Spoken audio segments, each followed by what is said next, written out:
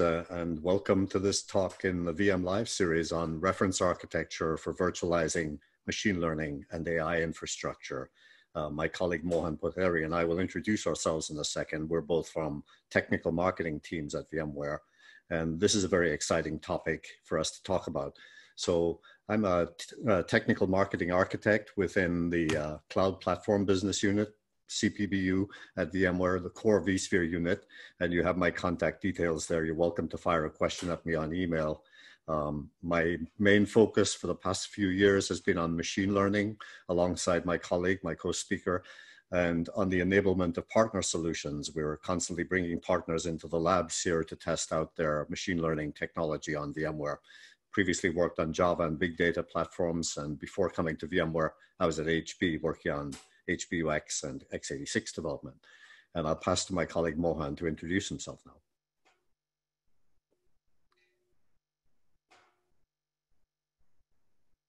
Sorry.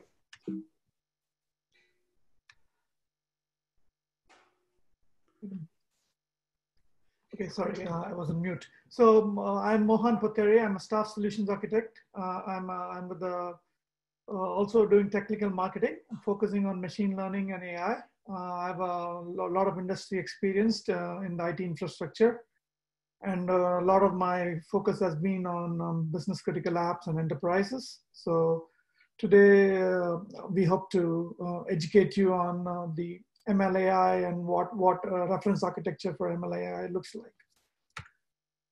Um, the agenda for today looks like you know what what what are the machine learning trends? Uh, you know uh, an introduction to neural networks which is kind of uh, become come to the forefront of ML uh, which which is actually called deep learning but now machine learning and deep learning are used interchangeably. Um, ML accelerated methods on vSphere so when we talk about ML accelerators we talk about potentially GPUs uh, how GPUs can be leveraged on vSphere we look at how the modern computing uh, infrastructure looks like. Um, that includes, uh, you know, things like what is what is changing with uh, with with containers, Kubernetes, and uh, and and a mix of virtual machines. Uh, we look at the cluster architecture for MLAI environments. Um, we do a sample design, and then we we then uh, go through the resources and the call to action. So now I'll pass it back to my colleague Justin to go go with. Uh... So thank you, Mohan. Thank you. So here's a statement from our CEO, Pat Gelsinger. Machine learning is the most important new workload to emerge in the enterprise in the last 10 years. That's pretty dramatic, and that's why we're paying attention to it, both of us and other people at VMware too. And really, um, it's it's become part of almost every vertical industry. People are using machine learning in healthcare for medical imaging. People are using it in autonomous vehicles for understanding what the sensors are telling them in a in a modern uh, autonomous vehicle. People are using it to predict churn on telecom applications. People are using it in finance to do fraud analysis and, and risk analysis.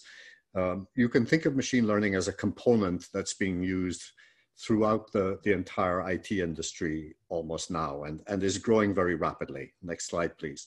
And as you as you'll see, um, the revenue expected revenue from the AI just software alone is on the uh, up to the right trajectory. So there's there's a, um, significant number of players in this business, a significant number of software companies, and we've, we've got relationships with many of those, and a significant number of hardware companies making GPUs and other devices that accelerate machine learning.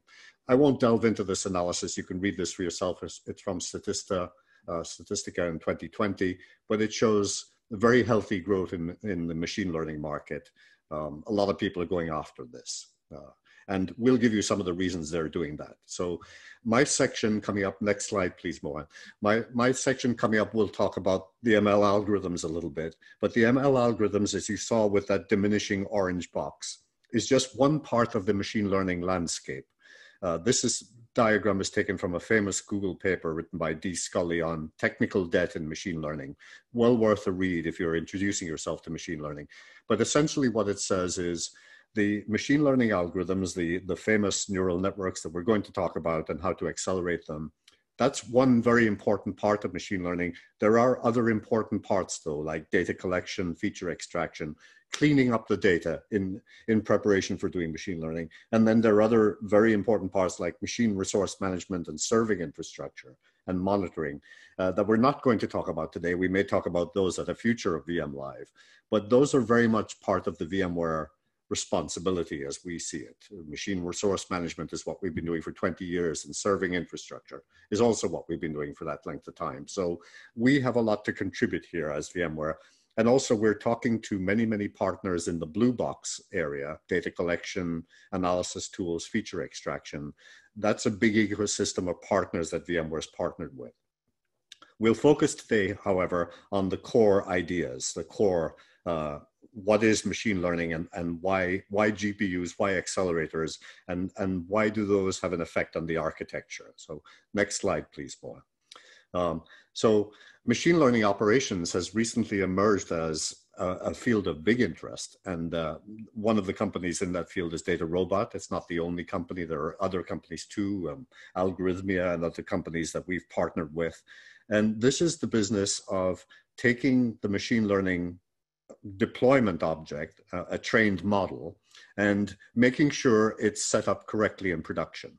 So making sure you have the right version, making sure you can replicate that version, making sure the machine learning model is not gone stale in time, that it's up to date. And that's a whole field in machine learning that's emerging as a big field, and VMware is playing in that field too. Next slide, please. So uh, neural networks are a specific topic. Let's, let's go to the next slide. Um, they are a core algorithm, not the only algorithm by any means, but as, as Mohan rightly said, they're a core algorithm in uh, machine learning and sometimes called artificial neural networks.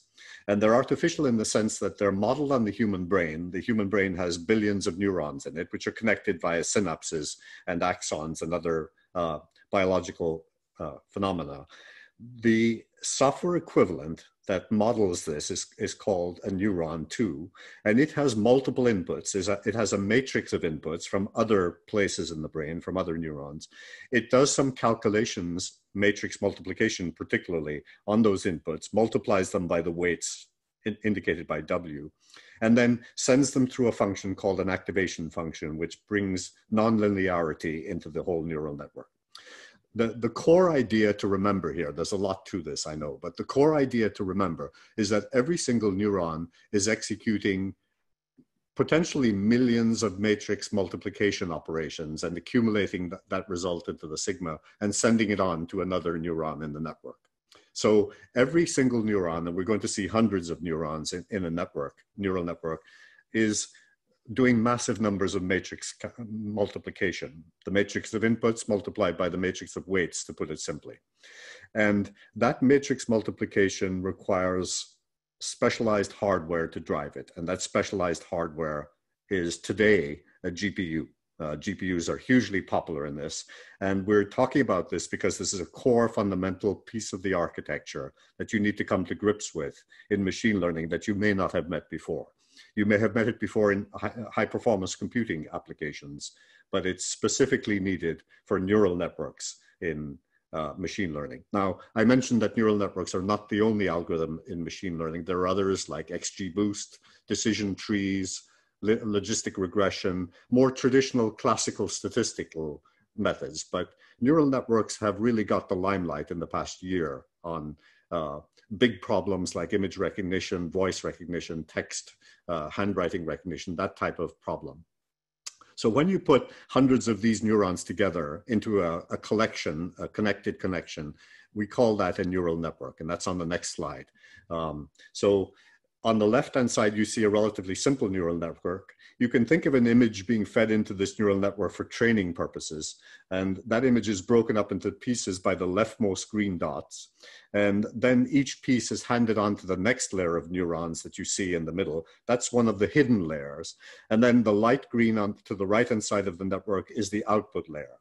Where I have multiple hidden layers, as I have on the right-hand side of this diagram, I have something called a deep neural network a deep neural network is the classical model that people would go to if they had an image recognition problem or a voice voice handling problem or other forms of problems which are very popularly addressed today in machine learning.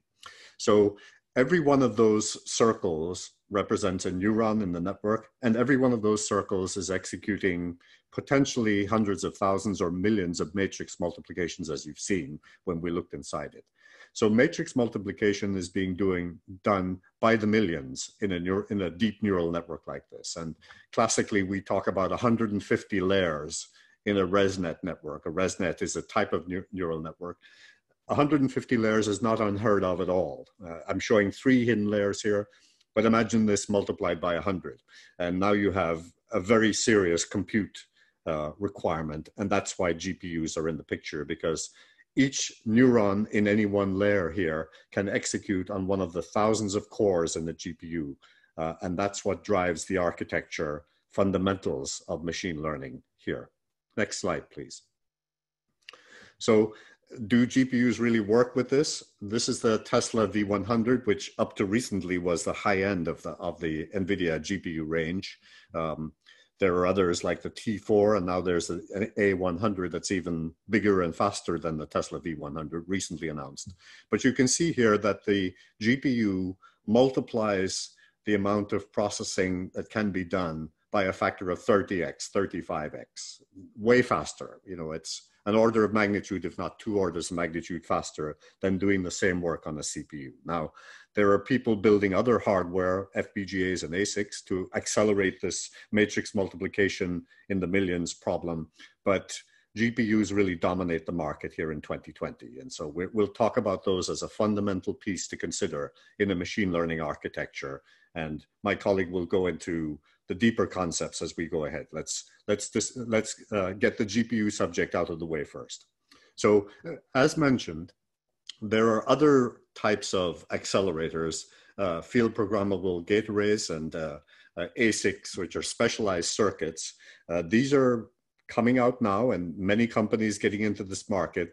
We're not going to talk about those today because really GPUs dominate the machine learning market. And so we're going to focus in on this and explain what architecture considerations you need to take into account when you're deciding on a reference architecture for machine learning, because GPUs are probably going to be there, most likely going to be there in your architecture. So next slide, please.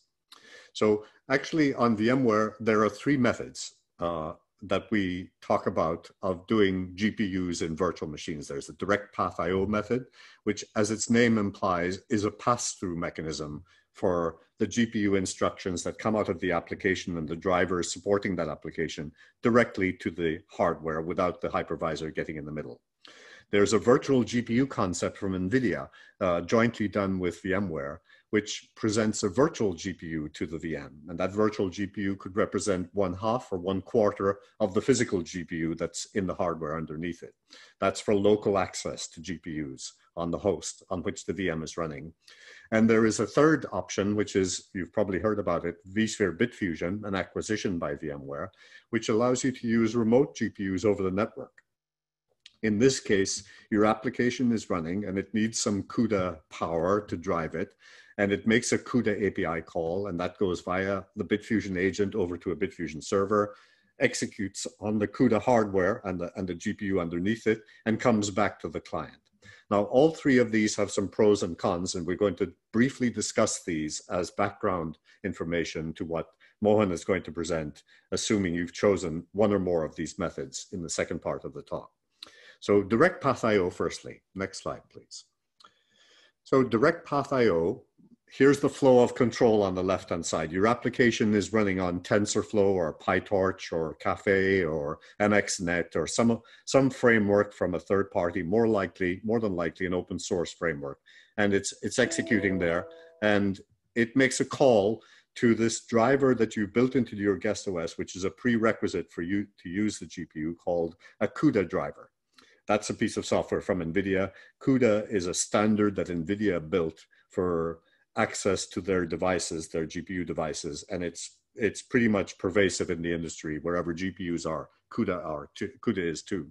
So you need to insert that driver in your guest OS. That gets the API call and effectively sends the CUDA call via the guest OS down into the GPU hardware, and the result comes back without the hypervisor really touching it. The hypervisor is in pass-through or direct path IO mode. This is very easy to set up um, and is there in all flavors of vSphere. So it has some limitations. There are some reasons why you wouldn't use this, but um, this is there for, for every uh, vSphere version that you would want, you would care to use um, a GPU on. Next slide, please. So the pros and cons of this. Um, a, a, distinct pro is that with a pass-through or direct path IO setup, you're going to get performance of your application that's very close to native performance, physical performance. Uh, the hypervisor is not getting in the way. It's not really interfering in the performance at all. This is native to all vSphere editions. It's pretty easy to deploy. You turn a few switches on, and there are blog articles about how to do this, and it becomes second nature to do it after a while. It has some capability in the HA and DRS initial placement area. That's a new feature called hardware assignment uh, in vSphere 7 that allows DRS to place your VM onto an appropriate host on which there is the appropriate GPU. It doesn't do any more than that other than placement right now, but um, you can have multiple GPUs in your VM. Some data scientists will come to you and say, I need two GPUs to execute this medical imaging inference that I'm doing, very high-end uh, machine learning stuff, four GPUs even. All of that's possible with pass-through. Um, the VM owns the GPU when it's passed through. The VM has complete access to the GPU owns the whole thing, no fractional GPU allowed, no snapshots, no vMotion. And it's possible with this that your application runs for a certain number of hours of the day, and then the GPU is not occupied by anybody else for the rest of the day. So you could have underutilization with this. That's a distinct con uh, to do with direct path IO. So let's move on to the next method now. Uh, NVIDIA Virtual GPU is a collection of products. Some of them are desktop products, some of them are server side products. The Virtual Compute Server is one software product within the vGPU family that came out in uh, 2019. It's current in 2020. Um, and it is the specific software product that you would license from NVIDIA to drive virtual GPUs. Next slide, please. So in, in this situation, you have two components. You have your CUDA driver. This is a specific driver now for virtual GPUs. And you also have a, a, a module or a manager or a VIB that you need to put into the ESX hypervisor. You use a VIB install command to do this. And both components should be of the same version and subversion if you, if you can. They, they need to be compatible with each other. But effectively, what you get when you install that NVIDIA vGPU manager into ESXi is you get a set of profiles of different shapes and sizes of virtual GPU. A virtual GPU that takes up half of the physical memory, or a virtual GPU that takes up one quarter of the physical memory of your, of your real GPU at the bottom. And you can have multiple GPUs with this as well. And now what you're doing is you're sharing the physical GPU across more than one VM so that each VM has one half or one quarter of the physical GPU's memory. And that's very powerful because you can now vMotion this virtual machine from one host to the other, provided that the target host has got the right software on it and right hardware on it. So the application makes its call to TensorFlow and says, I need GPU power for this one operation I'm doing. It happens to have a virtual GPU profile associated with it, so it's really only using half of the physical GPU. And the GPU request is sent via the, the driver down to the GPU manager and then down to the hardware by that. And the GPU manager is multiplexing access to the physical GPUs from the various VMs that are sharing it. You don't have to share with this, by the way. You could dedicate, dedicate the entire physical GPU to one VM or more than one entire physical GPU to a VM you could do that. You, you could satisfy your high-end data scientist who wants more than one GPU. But more traditionally, this is used where you want to split a physical GPU across two or more VMs. Next slide, please. So the pros and cons here are this is close to direct path IO performance within a few percent of it. You now have vMotion, which is a huge benefit because you don't always want to run your GPU using applications on the same host. You might want to move them around. You've also got DRS to help you with placing this VM onto the right host at initial placement time. That's um, uh, assignable hardware in vSphere 7. You can suspend your VM and resume it later. you can give somebody a fraction of a GPU, as I mentioned, one eighth, one quarter, one half. All the fractions on one host must be the same size, by the way, but you can do fractions of a GPU. You can do multiple GPUs, up to four physical GPUs assigned to the same VM. That's not a problem. And when you assign multiple GPUs, you're going to assign all of their memory to the same VM. So that's, that's a fairly high-end requirement there. And you can use different scheduling algorithms to optimize the use of the GPU. And, and this is going to really take off in the next year or so as new technology comes out from NVIDIA underlying all this called uh, multi-instance GPUs. And we won't delve into that here today, but essentially both algorithms allow you to share the physical GPU across different uh, parties. Some of the cons of this is you need to get a license for it and, and have a license server that allows you to use the license. So you, there is some cost associated with it. It requires you to shut down your host or place, place it into maintenance mode to install the VIB. So your VMs have to be evacuated for that process to happen. Your guest OS vGPU driver must match the version of the vGPU manager. You need to take care of that. And setting up a vGPU profile is a pretty static process until you re, reinitialize that VM. If you're going to change the vGPU profile, you're really going to take the VM down for a while, change the profile, and bring it back up again. So it's not dynamic in that sense. And fractional GPUs on any one server must all be the same memory size. And really, this is for NVIDIA GPUs, which is the majority of the market right now. So next, next slide, please. So last option here in the GPU space, and we're going to uh, go up a level from this in the next section, but Bitfusion was acquired by VMware in 2019 and is now built into vSphere Enterprise at the 7.x release. 7.0 is out there already, of course.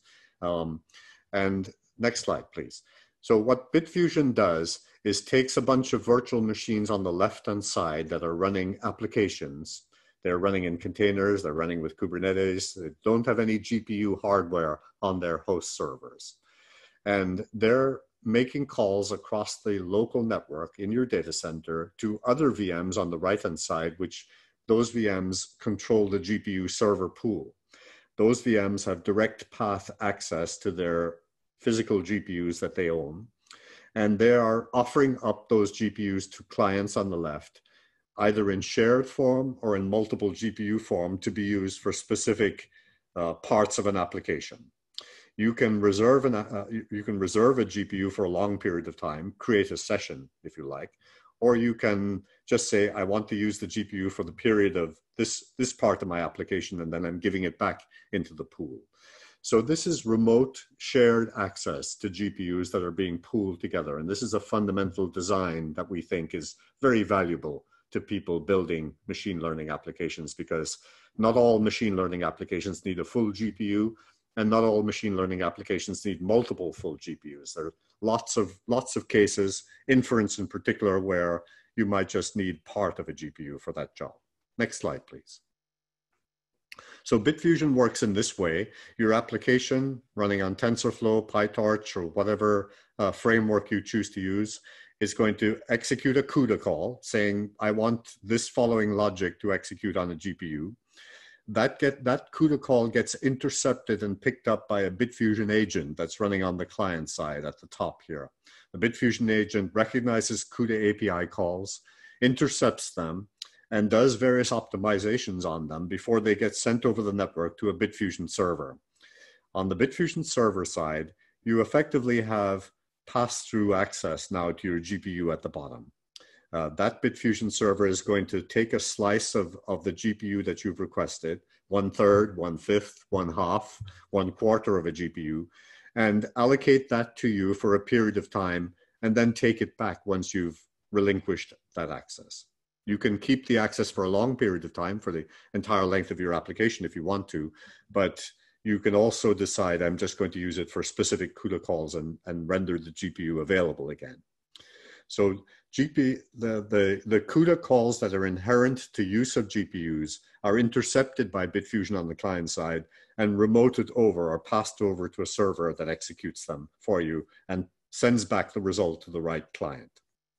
So this is very powerful stuff in that you can have hundreds of clients like the VMs on the top, which make use of a small number of servers, a dozen, or, or so servers and make optimal optimal utilization and efficiency of your GPU the prime the prime driver here for all of this. That's that's how you would do this. And this is quite different to the previous methods because here the GPUs are not on the server that I'm executing my client on. They're remote from it. Okay, so I'm going to hand over now to my colleague Mohan on the next slide. Oh, before we do that, let's do the pros and cons of this. So um, this is native to vSphere Enterprise Plus. You turn it on, you enable Bitfusion uh, at the vCenter level. You effectively have on-demand access to GPUs over the network. Um, on, on the other side of the network, there's a shared GPU cluster running these Bitfusion servers, and you can access more than one of these Bitfusion servers by putting its IP address or its host name into a configuration file, and therefore you can use different servers if you can't find what you want on the original one. You can use multiple GPUs in this way. Um, classically today, multiple GPUs come from the same server when you ask for them uh, over the network. You're not doing GPU mixing from different servers here. You're, if you're accessing multiple GPUs at once, they all come from the same server. You have the ability to do HA, DRS, and vMotion of your client VMs because they're not tied to any hardware. They can execute anywhere in your network. And the CUDA API calls are optimized uh, underlying this model. They're not just being sent straight across the network. They're being batched up and optimized and, uh, and configured for high performance as they go across the network. Of course, this is very network dependent um, and uh, network latency is a, is a key part of all this. And uh, this is for GPUs only at the moment, but the team in the engineering team and Bitfusion is working on FPGAs and ASICs, and that those are on the roadmap for future future work.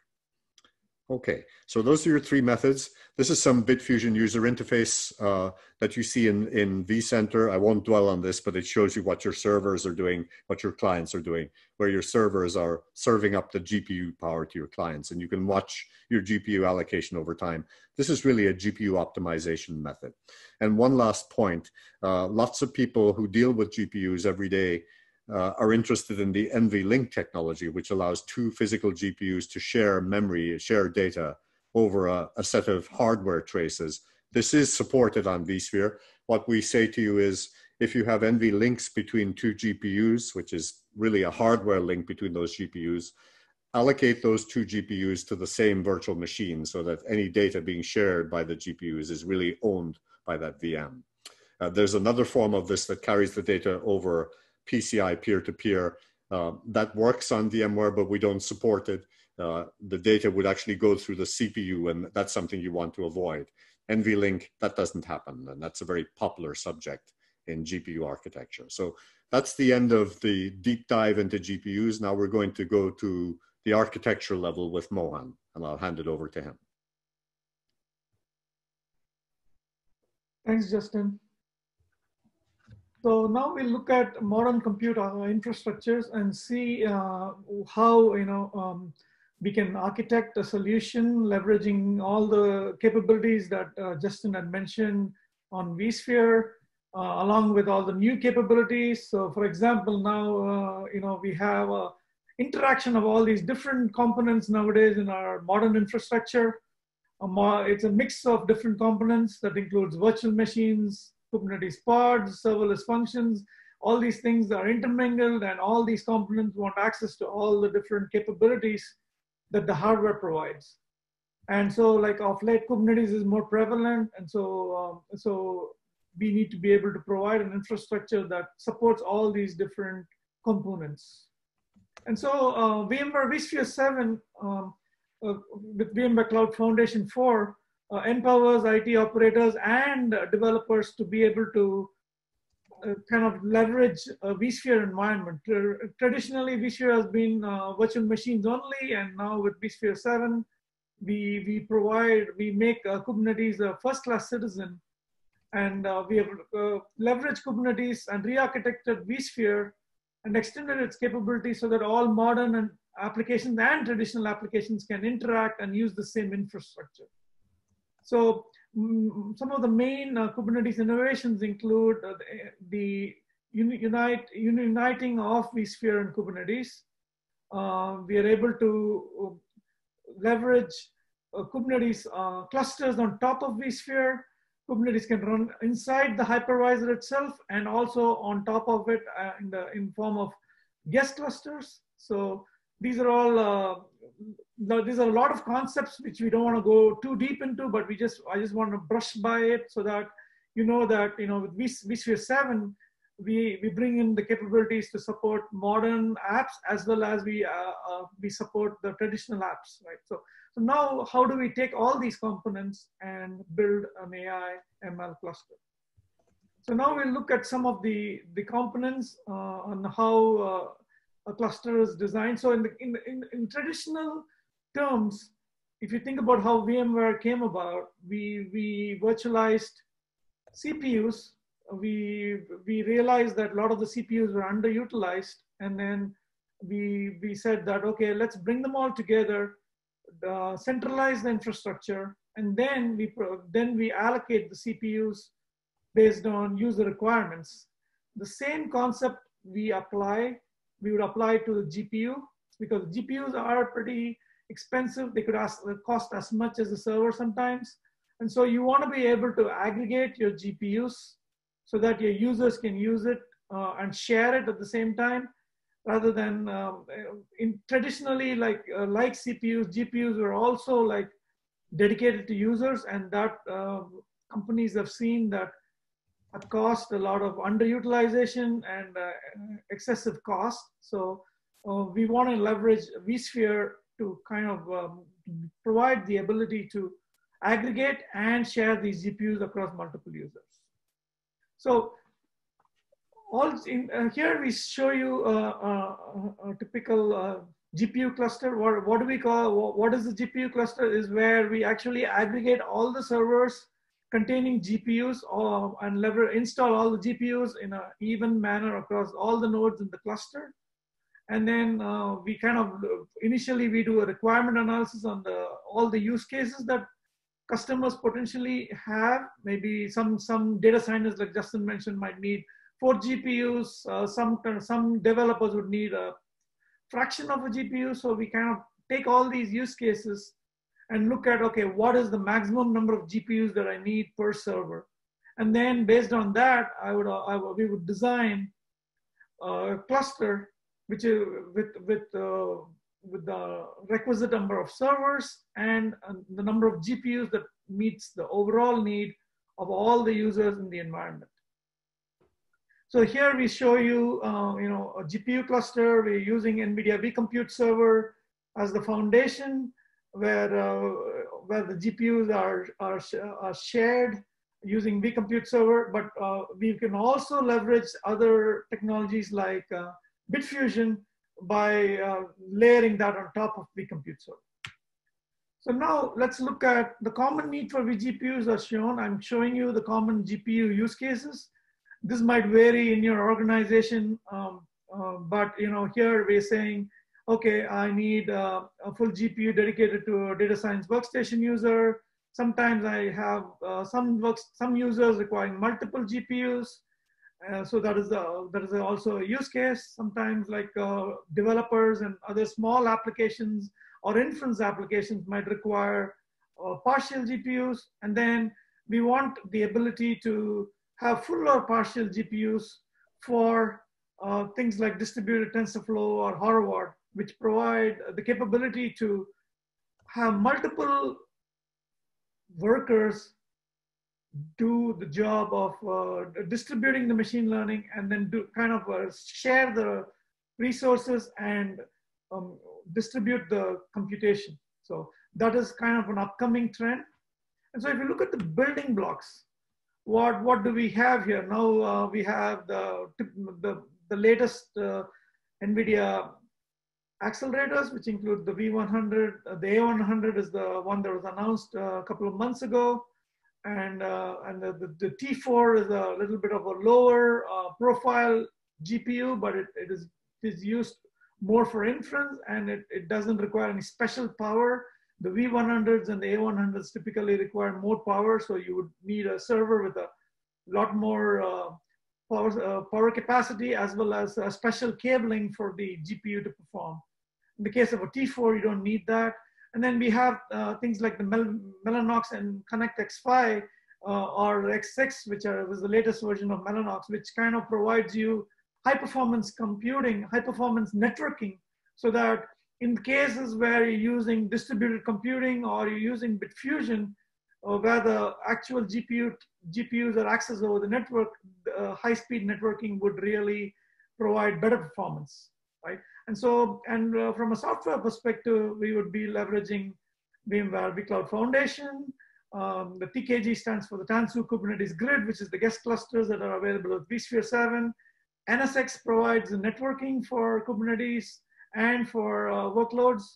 Uh, vSphere Bitfusion provides you the uh, ability to share the cluster. And then we have NVIDIA vCompute Server, Mellanox software, and things like uh, HashiCorp Terraform for automation. And then you look at, uh, from a, a, networking standpoint, uh, ideally we should have a minimum of 25 gig networking, but you know it could go all the way to 100 gig with uh, to make sure that your latency and throughput are maximized for distributed machine learning and Bitfusion. And like storage, like example storage from uh, Dell shown here, uh, and then you have uh, the frameworks that we typically deploy. So if you look at uh, if a, a, typical enterprise machine learning cluster design, these are the steps that we would need to follow. We need to define the use cases. Who are the users and how they how do they intend to use the cluster? And we, are, we need to do a capacity assessment based on what is being used across the enterprise and, uh, and we're going to hopefully centralize all these use cases and the users, you would need to know how many GPUs do you need at a time, and then how, uh, what, what kind of uh, capacity does the cluster need to have from a GPU standpoint and a CPU and a memory standpoint include, and maybe also look at the networking needs of the infrastructure. Then we use the, based on this, you would look at what the typical hardware building blocks would be, depending on who your server vendor is, for your enterprise, you would, you would choose the appropriate hardware that supports GPUs and uh, supports the capabilities to have multiple GPUs. And then you would kind of uh, design a cluster based on all of this for resiliency and high performance. And then based on, uh, finally, you would implement automate, automation and optimize your GPU, use of GPU infrastructure. So kind of this is, these are the steps that we would follow. And then let's go through these steps through, let's go through a sample design so that you would understand what it takes to design such an infrastructure. So the first thing is, okay, we have uh, uh, the user type, right? So the we have a high performance users with, who need a maximum of four GPUs. So we've, we've done a, a survey within our company and we see that uh, there are some high performance researchers that require a maximum of four GPUs. So we need to make sure whatever design we, we do the, the, there is, uh, the, the server has four GPUs available. Then we have, some, we have uh, found that there are some data scientists that need full or partial GPUs uh, for their, uh, for their uh, analysis. We have some HPC users that need full or partial GPUs. We have some developers that require full or partial GPUs. And then last but not the least, we have distributed machine learning users with need for GPU uh, resources that go across multiple worker nodes. So these are the user types we've decided on. We, we, we did the survey and these are the types of users that we're going to be servicing. And then one of the main, main requirement that comes out of this is that um, the server should support a maximum of four GPUs so that some of the user types are supported. So now let's look at the use cases, right? For high performance researchers, uh, since uh, we don't want any traffic going over the network, we would uh, leverage the NVIDIA vGPU. We did, we did, uh, Justin showed you three different ways of accessing GPUs. We are not going through pass-through here because pass-through is not a good mechanism for sharing. So we look at these different users and what technology applies. So for the high performance researcher, we're going to use NVIDIA vGPU. For the data scientists, we could either use NVIDIA vGPU or VMware Bitfusion. For the HPC users, uh, also requiring uh, you know high, high, low latency connectivity to the GPUs, we would use NVIDIA vGPU. And then for the developers, we would use VMware BitFusion. And last but not the least, uh, the distributed machine learning, we can either use vGPU or BitFusion. So now we've mapped our users to these different uh, access methodologies. So now let's look at the cluster design. So the cluster design, we uh, based on our requirements, we need to have each physical node will have four GPUs each to meet the needs of the high performance researchers. So as we saw in the earlier uh, requirements analysis that uh, four GPUs are required per node. And then we, uh, based on our capacity assessment, uh, we, we found that uh, up to 28 GPUs are needed. And then, uh, so for this 24, 28 GPUs with the, with, for seven hosts, we would need at least seven hosts with four GPU each. But whenever we do VMware design, we would always need to provide uh, additional capacity for maintenance and high availability. So an additional host is required for that. So we would uh, we would add an additional host. You could actually add one more node to kind of uh, have HA capacity when you do maintenance, but that would be too expensive in the situation because uh, GPUs cost a lot of money and you have four GPUs per node. So we, in this case, we are doing a, an N plus one design rather than N plus two design, which is also common. Then the cluster would use eight nodes with four GPUs each, a total capacity available of 32 GPUs under normal circumstances. But when you do any maintenance or if there's a HA uh, event where you lose a node, you could, you could go down to seven hosts and you still have the 28 GPU capacity. All GPUs in the cluster would be made through the NVIDIA vCompute server. The vCompute server would be the basis and from there, even, even BitFusion that will be part of the cluster would be using the vCompute server as a, would be allocated GPUs through the vCompute server. So, and then, and then, so now let's look at how uh, this cluster looks like, right? So we have, uh, for the hyper, the, the, GPU cluster, this is how it looks like. The logical components looks like. You have, uh, in this cluster, we have VMs representing the high performance researchers, and so you have some VMs representing the BitFusion server virtual machines. Both of them are using NVIDIA vGPUs for accessing, uh, accessing the GPUs. The high performance uh, researchers have access, direct access to the GPUs through the vGPU, whereas the BitFusion servers uh, are going to have access to the vGPU and then they would be serve, serving the BitFusion clients over the network. So you see, that's why you see these two different uh, blocks out here, uh, seg segregating these different virtual machines. But these, these different blocks actually serve different use cases. So now how does it look, right? And if you look at it, if we bring it all together, uh, on the left-hand side here, you see uh, all the different compute uh, clusters available. And uh, you know there are, uh, there are some use cases that leverage these, uh, there, are, there are compute clusters in your environment that are actually connected via the network to the GPU cluster we showed in the previous slide. So high performance researchers would be using the, uh, the, the, the, GPUs directly. Bitfusion would be leveraged to use uh, the cluster over the network. And we, here you see developers using Kubernetes and other users using different kinds of uh, VMs to access the, the, the GPU resources over the network. And then, and, and overall, you see how all of this uh, kind of um, all the other capabilities of vSphere and VCF are brought to fray. So you have this, uh, this block in the middle and, on, and all the other capabilities that vSphere has can be uh, layered on top to provide you a, a very robust, you know, modern compute infrastructure. So now, uh, now that we've seen the design and the, and the care and all the components relating to it, uh, let's summarize as we're running out of time. Um, so first, we, we showed you that uh, uh, VMware infrastructure is a, provides you a solid framework with software-defined compute, storage, and networking. Justin had gone through all the capabilities and how we support uh, GPUs and other uh, GPUs and, and, different methods to access it. And you, you, we saw that uh, NVIDIA vGPUs uh, can be leveraged to provide high performance computing, access to the GPUs, with uh, vMotion and DRS capabilities. uh, we see that vSphere Bitfusion can provide the ability to access the GPU resources over the network uh, for uh, different user needs. And then last but not the least, we looked at the sample cluster design that showed the flexibility of the solution to accommodate all the common GPU use cases you would have in your enterprise.